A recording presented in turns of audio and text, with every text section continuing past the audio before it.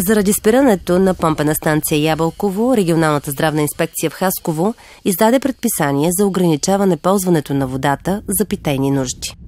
Знаете, че а, проблемната помпена станция е едно, за да спадне нивото на химичен показател естествен уран, трябваше да се смесва водата с а, вода от а, помпена станция Ябълково. Тъй като резервуара, от който отива водата към тази въпросна помпена станция, беше изчерпано количеството, има вероятност, когато водата остане само от помпена станция едно, наистина да се дигне количеството на показателя естествен уран. Писма са изпратени до кметовете на общините Хаскова и Минерални бани и до Министерството на здравеопазването. Другата страна на проблема е, когато само от Ябълково се, въз, се водоснабдяват определени квартали, там пък въобще няма вода. Заради това нашето предписание беше да се достави вода в определените квартали, които са изброени на нашия сайт.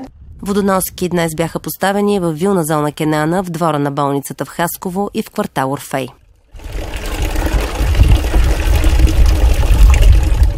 Хората в Орфей обаче недоволстваха, тъй като една водоноска била крайно недостатъчна за техните нужди. Колко време сте без вода? Ами, втори ден майче. И как се справяте? Туалетните въобще не са живее вътре, разбираш. Всички прозорци съм отворил и няма как. Поне най-малко две-три водоноски трябва да имат, като това е пълен хаскове тук, разбираш. Цели квартал Орфей, тук тия хора от среща, това не са един-двама човека, не е на махла. Ние два-три блока. В следващите дни мобилни водоноски трябва да бъдат поставени и на други места в града. Проблема с урана, според мен, никога, никога не е изчезвал.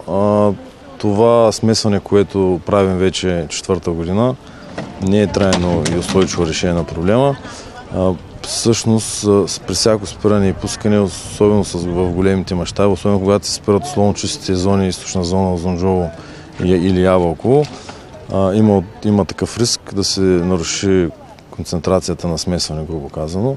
Те първа ще бъдат правени изследвания за наличието на уран във водата при крайните потребители. Това обаче ще отнеме технологично време, което може да продължи повече от месец.